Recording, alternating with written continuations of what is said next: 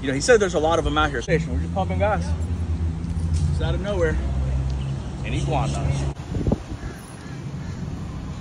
This flap of skin down here is called a dewlap. Dewlap. Don't try this at home.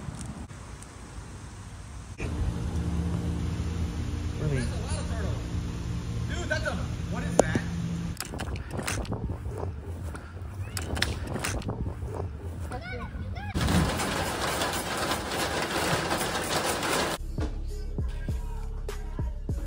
Yeah, I had it curry stew. Show your mom this cooking when she cooking it. Just curry or curry stew, you know? Yep, it's very good. See how it's.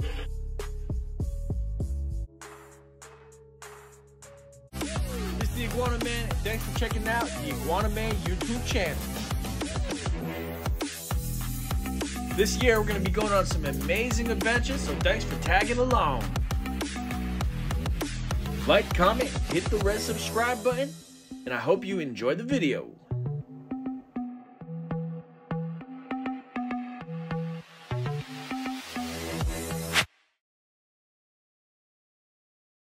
Hi there, I'm Florida Jit. Iguana Man and Iguana Ninja are the best in the world at catching iguanas. If you don't believe me, like, comment, and subscribe. Your eyes won't believe this. Some gas, and then all of a sudden we noticed like some iguanas just kind of hanging out here. There it is. Oh, his tail. I'm Gonna pull his tail off. No, no, it's okay. Hold on, hold on, hold on. Yeah, uh, a lot of work uh, doing detailing on nice vehicles, and uh, you know he said there's a lot of them out here. Station, we're just pumping gas. It's out of nowhere. An iguana.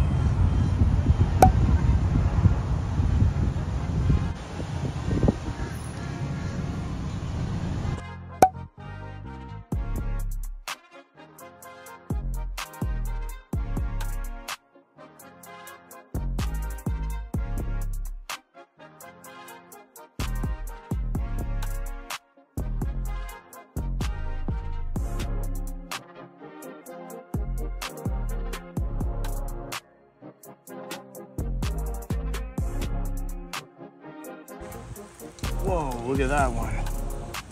This flap of skin down here is called a dewlap. Dewlap. Don't try this at home. I shouldn't be doing this. He's not calm yet. The dewlap sheds too. I guess one of these bushes right here, there's just an iguana that comes out of iguanas, guys. They live in these bushes, and then when the sun comes out, they just come out as well. Calm down.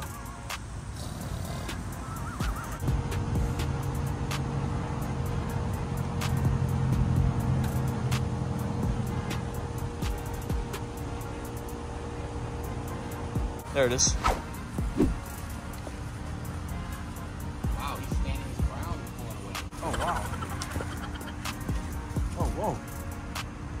Dude, this thing is like it's done this before.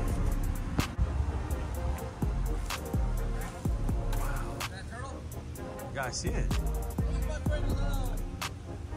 Whoa, look at all these fish.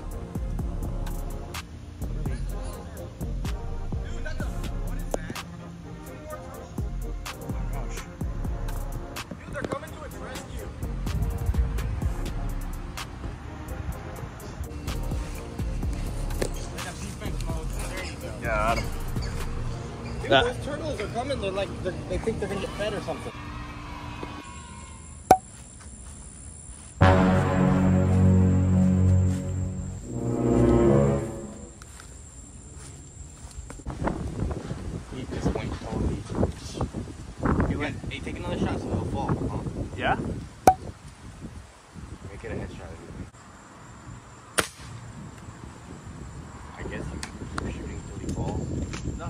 He's just hanging on by a tail, bro.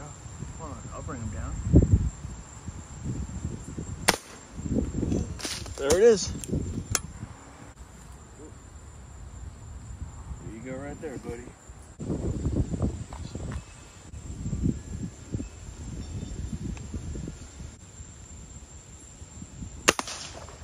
Carry after you. Cock it. Kind of turned like a little yellow right there.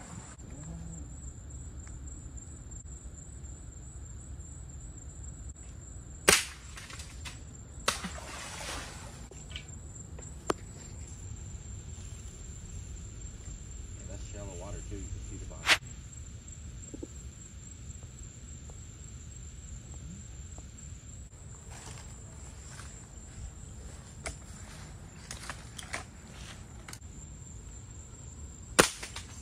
Fall, buddy. That's a good picture. There is. We have a second.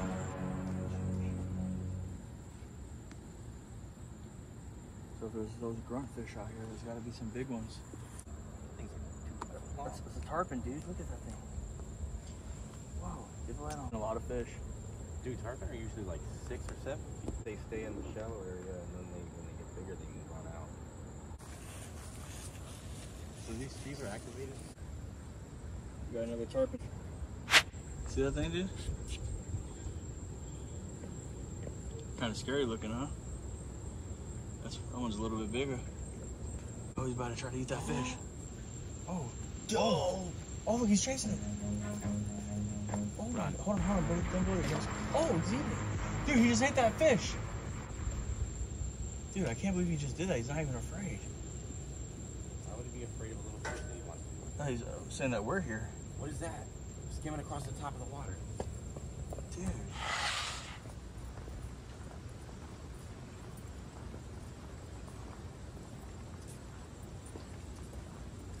It's amazing, right? You can see it right there.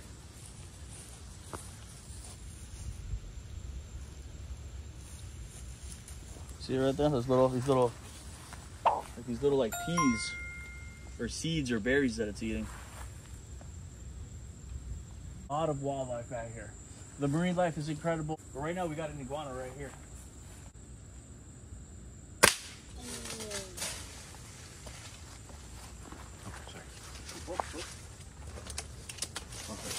Oh shoot! Whoa. All right, we got it.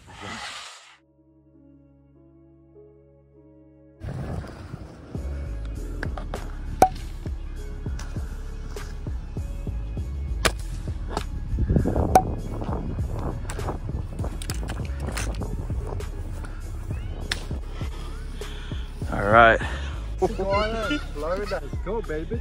Yeah, small one. Yeah, yeah. Yes. How many people you think that one could feed? This? Yeah. Uh, You have duckling. 10, 12.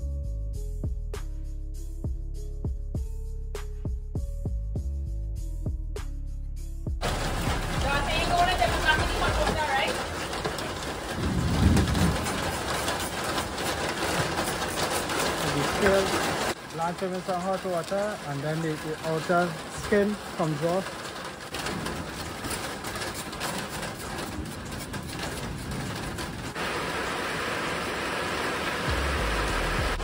So now you can eat this skin if you want because we took all the. Oh, you get yeah. See it right there. little bit. in- Yeah. So, but you need to be, when you're stripping it, you need to just double check.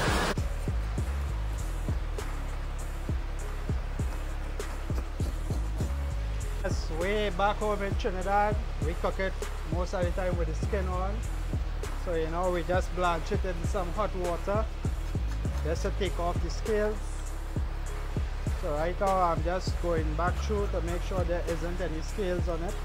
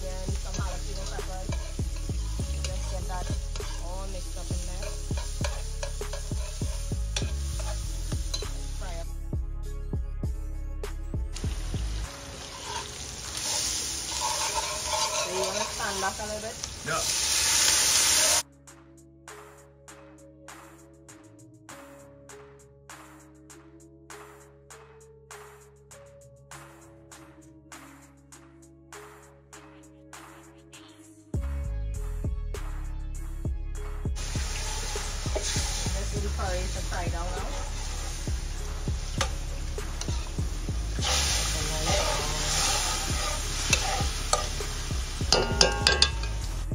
A lot of people came from, you know, different countries um, through indentured laborship. We had Indian influence from India and then we have the influence from Africa due to, you know, the indentures. So I guess iguana and living off the land was typical for them during that time, you know, um, catching and eating, subsistence living if you want to call it that.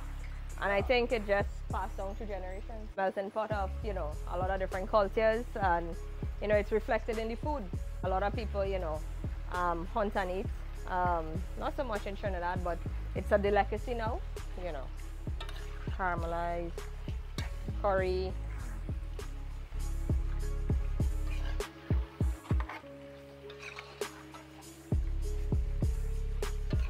You can't cut it up small, man. Yeah. It was up big so it could have dried meat. That's right. Yeah, so we just rolling it out here now, Rod. Then cut it up. Into the pot it goes.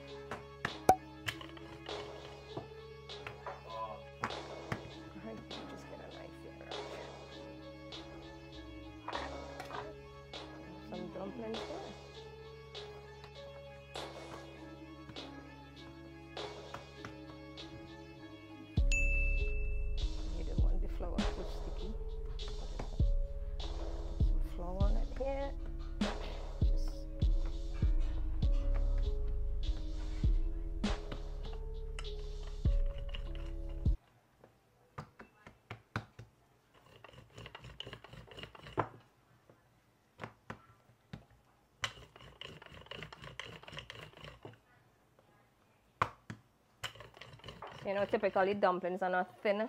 You want to leave some, you know, thickness to the flour when you're rolling it out.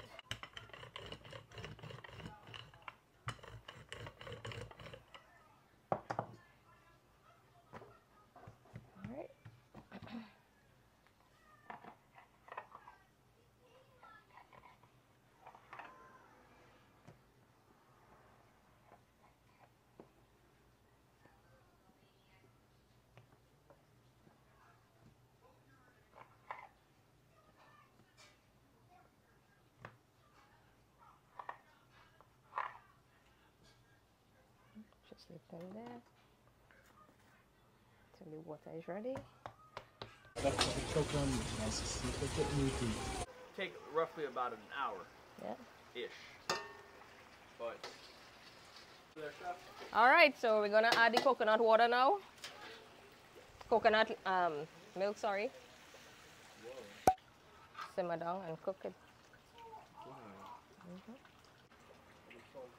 I don't add the salt here.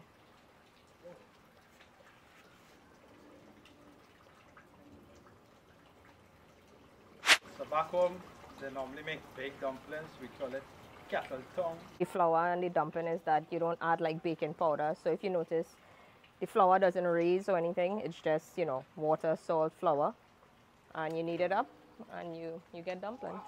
And I add the dumplings here now, Rad.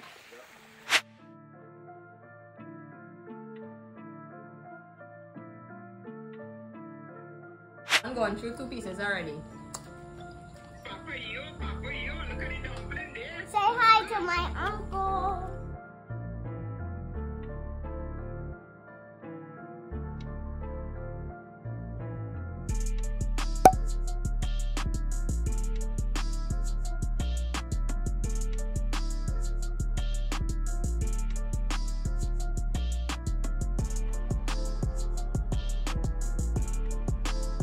Them to run out though.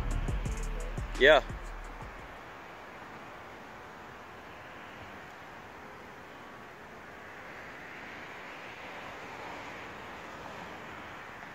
Guys, we got about 10 iguanas in the net.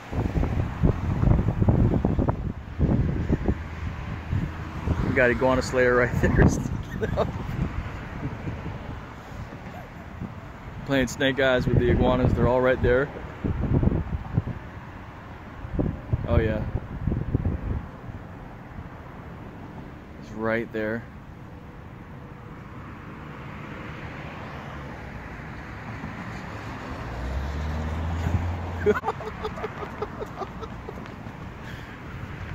nice one, dude. How many did we get? Let's have the big net over here, Kyle, right? We have to, bro. It's way too...